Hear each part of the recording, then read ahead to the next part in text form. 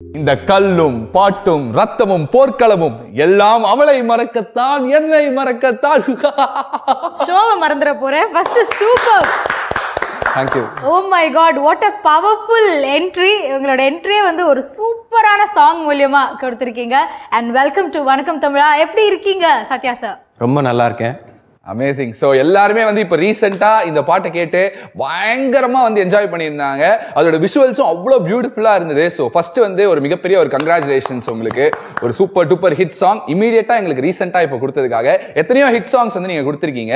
So இப்போ இந்த பாட்டு வந்து பயங்கர ட்ரெண்டிங்காக இருக்கு. இதை பற்றி வந்து நம்ம நிறைய விஷயங்கள் பேசலாம். ஆனால் ஃபஸ்ட்டு உங்களுடைய ஸ்டார்ட் பாயிண்ட் அப்படின்னு சொல்லிட்டு ஒன்று இருக்கும்ல இன்னைக்கு வந்து சத்யபிரகாஷ்னா எல்லாருக்குமே தெரியும். அப்போ ஸ்டார்டிங்கில் இருந்த சத்யபிரகாஷை இப்போ திரும்பி பார்க்கும்போது எப்படி இருக்குது ஆச்சரியமா இருக்கு. நம்மளா இவ்வளோ தூரம் வந்திருக்கோம்னு தோணுது. இன்னும் நிறையா இருக்கு பட் ஸ்டில் ஒரு ஒரு எந்த விதமான ஒரு பேக்ரவுண்ட் சப்போர்ட்டும் இல்லாமல் மியூசிக்கல் ஃபேமிலி கிடையாது என்னோடது. ஸோ நான் தான் என்னோட ஃபேமிலியில் ஃபர்ஸ்ட் கிராஜுவேட் இந்த மாதிரி நிறைய விஷயங்கள் இருக்கும்பொழுது கோயம்புத்தூர்லேருந்து சென்னை வந்து ஒரு ரியாலிட்டி ஷோவில் கலந்துக்கிட்டு அதன் மூலமாக ப்ளேபேக் சிங்கிங் ஆப்பர்ச்சுனிட்டி கிடச்சி அதுலேருந்து இப்போ பத்து வருஷம் ஆயிடுச்சு. இந்த பத்து வருஷத்தில் டூ ஹண்ட்ரட் ப்ளஸ் சாங்ஸ் வந்து பாடுறதுக்கான வாய்ப்பு கிடச்சிருக்கு. ஸோ இதுக்கு வந்து கடவுளுக்கும் எனக்கு வாய்ப்பு கொடுத்த மியூசிக் டைரக்டர்ஸ்க்கும் என்னோட குருக்கும் தான் நன்றி சொல்லணும். லவ்லி ஸோ வந்து இவ்வளோ சொல்லியிருக்கீங்க. டூ ஹண்ட்ரட் சாங்ஸ் வந்து நீங்கள் பாடியிருக்கீங்க. அண்ட் டென் இயர்ஸ் ஆயிருக்கு. அதுக்காகவே ஒரு மிகப்பெரிய பாராட்டுக்கள் உங்களுக்கு. சின்ன வயசுல இருந்தே இன்ட்ரெஸ்ட் இருந்ததா? நம்ம வந்து கண்டிப்பா பயங்கரமான ஒரு சிங்கரா ஆகணும் அப்படின்னு. எனக்கு பாட்டில் இன்ட்ரெஸ்ட் இருக்குங்கிறத கண்டுபிடிச்சது எங்கள் வீட்டில் தான். நான் சின்ன வயசில் இருக்கும்போது டிவியில் அந்த ஆட்லாம் பார்த்து அதை அப்படியே பாடுறத பார்த்துட்டு ஒரு ஒரு ஏழு எட்டு வயசுல வந்து இவனுக்கு பாட்டு வரும் போல இருக்கு. இவனை கொண்டு போய் மியூசிக் கிளாஸில் சேர்த்து விடுங்கன்னு சொன்னது என்னோட தாத்தா தான். அவர் மதுரையில் தமிழ் வாத்தியாராக இருந்தார். ஸோ அவருக்கு வந்து பாட்டு ரொம்ப பிடிக்கும். சரி நம்ம ஃபேமிலியில் ஒருத்தர் பாட் பாட்டு கற்றுக்கிட்டா நல்லா இருக்குமே. நல்லா பாட்டு வரும் அப்படின்னு சொல்லிட்டு அப்படி ஆரம்பித்து தான் அந்த முறைப்படியாக நான் வந்து கர்நாடக சங்கீதம் கற்றுக்க ஆரம்பிச்சது. சின்ன வயசில் ஒரு எட்டு வயசில் ஆரம்பிச்சது கோயம்புத்தூரில். ஸோ அதுக்கப்புறம் வந்து நிறையா நிறைய பேர்கிட்ட கற்றுக்கிட்டேன் அப்புறம் சந்திரசேகர பாதர்ன்ட்டு சாய்பாபா காலனியில் ஸோ அவர் தான் வந்து இப்போ நான் இவ்வளோ தூரம் வந்திருக்கேன்னா அது மு- முக்கியமான ஒரு காரணம் அவருடைய ஒரு ட்ரைனிங் தான் நான் சொல்லுவேன் ஸோ எங்களுக்கு எல்லாருக்குமே வந்து தெரியும் சத்யபிரகாஷ் அப்படின்னு சொல்லிட்டு பார்க்கும்போது ரொம்ப பேஷனேட்டான ஒரு சிங்கர் அவர் வந்து அப்படின்றத எங்களால் வந்து பார்க்க முடியும். நீங்கள் ஸ்டேஜில் பெர்ஃபார்ம் பண்ணும்போதெல்லாம் வந்து எங்களுக்கு வந்து ஆட்டோமேட்டிக்காக வந்து ஃபீல் ஆகும். ஸோ இந்த பேஷனை நோக்கி நீங்கள் பயணிக்கணும் அப்படின்னு சொல்லிட்டு நீங்கள் எப்போ டிசைட் பண்ணீங்க? ஏன்னா சின்ன வயசில் ஐடென்டிஃபை பண்ணிட்டாங்க டேலண்ட்டை பட் இதுதான் ஃபுல் டைமாக இருக்கணும் அப்படின்றது எப்போ உங்களுக்கு தோணுச்சு? ஃபுல் டைமாக இருக்கணுங்கிறது வந்து ஒரு பெரிய போராட்டத்துக்கு அப்புறம் தான் நடந்துச்சுன்னு வச்சுக்கோங்களேன். ஏன்னா ஃபர்ஸ்ட் ஜென்ரேஷன் மியூசிஷியன் வேற. ஸோ ஃபேமிலியில் எப்படி இருந்தாலும் ஒரு ஒரு ப்ரெஷர் இருக்க தான் செய்யும். இன்ஜினியரிங் படிக்க வச்சதே அது காரணம் தான். நான் ஸ்கூல் முடிச்சுட்டு நான் வந்து மியூசிக் படிக்க போகிறேன்லாம் சொல்லும்போது உத வாங்குவேன்னு சொல்லி ப்ரொஃபஷனல் டிகிரி படிக்கணும்னு சொல்லி இன்ஜினியரிங்கில் சேர்த்து விட்டாங்க. ஃபஸ்ட் இயர் அந்த காலேஜுக்குள்ளே போன உடனே இது நமக்கானது இல்லையேப்பா அப்படின்னு சொல்லிட்டு யோசிச்சுட்டு சரி அதை போய் இந்த மாதிரி வெளியில வரதுன்னா என்ன ப்ரொசீஜர்லாம் கேட்டேன். நாலு வருஷத்துக்கான ஃபீஸ் கட்டிருங்க உடனே டீஸ் கொடுத்துட்றோம்னா நாலு வருஷத்துக்கான ஃபீஸ் கட்டுறதுக்கு படிச்சிடலாம். சொல்லிட்டு. நிறைய விதத்துல வந்து ஒரு டிசிப்ளின் லைஃப்ல வர்றதுக்கு அது கொஞ்சம் யூஸ்ஃபுல்லா இருந்திருக்குன்னு நினைக்கிறேன். ஸோ அழகா உங்களுடைய ஜேர்னி வந்து ஸ்டார்ட் ஆயிருந்தது. ஃப்ரம் கர்நாடிக் மியூசிக்ல இருந்து அப்படியே டிராவல் ஆகி வந்து நீங்க நிறைய காம்படிஷன்ஸ்லாம் வந்து அட்டன் பண்ணி ஒரு பிளேபேக் சிங்கர் ஆயிட்டீங்க.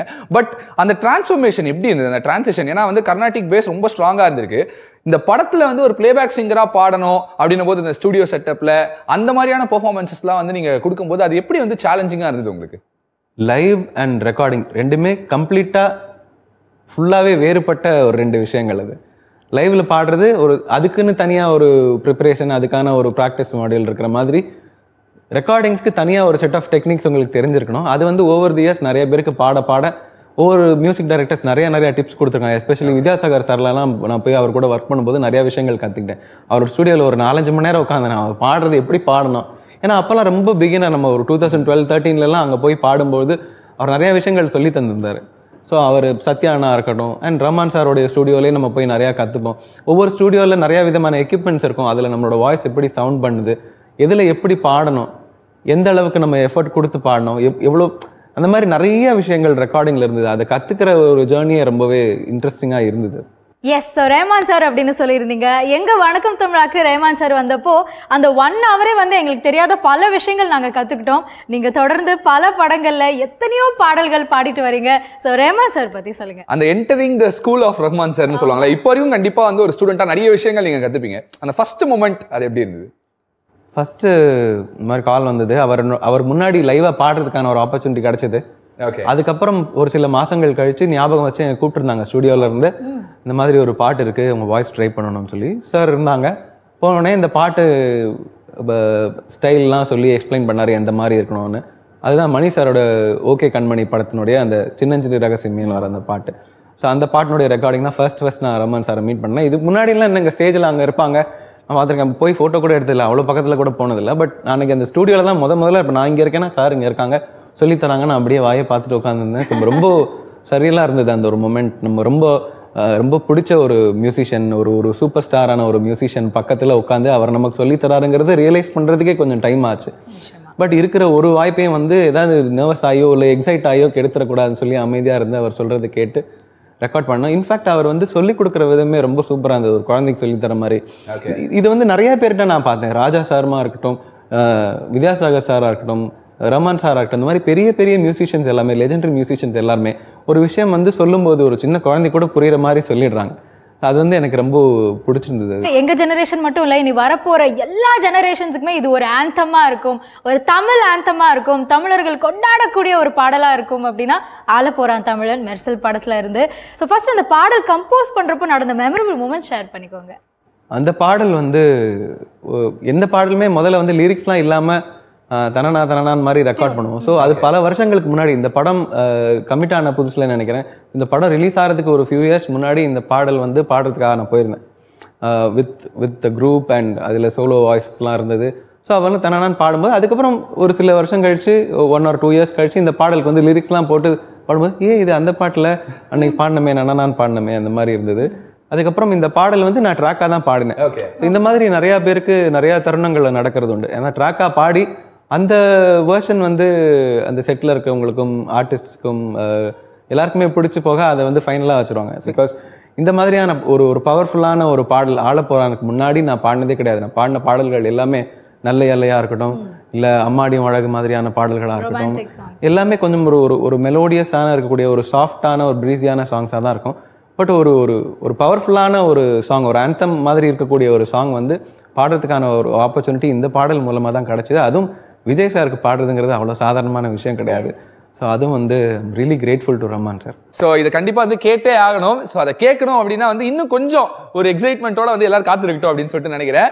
ஸோ நாங்கள் சொன்ன மாதிரி வந்து எல்லாருக்குமே ஒரு ஃபேவரட்டான ஒரு ஆந்தமான அந்த சாங்காக இருக்கு. ஸோ எப்படி வந்து இந்தியன்ஸ் எல்லாருமே வந்து ஜெய்ஹோ வந்து ஒரு ஆந்தமா வந்து எடுத்து செலிப்ரேட் பண்ணிட்டு இருக்காங்களோ அந்த மாதிரி வந்து தமிழர்கள் எல்லாருக்குமே ஆந்தம் அப்படின்னு சொல்லிட்டு சொன்னோம்னா டக்குன்னு இமீடியட்டா குழந்தை கூட வந்து பாடும் ஆள போறான் தமிழனை. அந்த அளவுக்கு ஒரு ஃபேவரட்டான சாங்கா இருக்கு. ஸோ அதை லைவா உங்ககிட்ட வந்து கேட்கணும் அப்படின்னு சொல்லிட்டு ஆசையா இருக்கு. ஸோ நீங்க பாடினீங்கன்னா நல்லா இருக்கும் கண்டிப்பாக ஆளப்போறான் தமிழன் உலகம் எல்லாமே. வெற்றி மகன் வழிதான் இனிமே எல்லாமே. வீரன் யாருன்னு இந்த நாட்டுக்கு அவன் சொன்னானே வாயில்லா மாட்டுக்கும் அட நீதிய அவன் தந்தானே. சொல்லி சொல்லி சரித்திரத்தில் பேர் போரிப்பான் நெஞ்சில் அடி காத்தில் நம்ம தேன் தமிழ் தெளிப்பான் இன்னும் உலகம் மேடத்தங்க தமிழ பாட பச்சை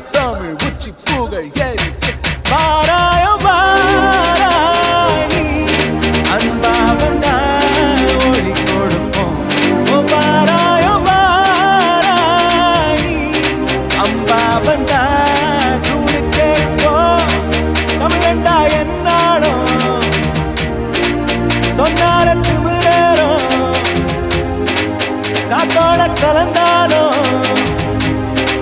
அதுதான் அடையாளம்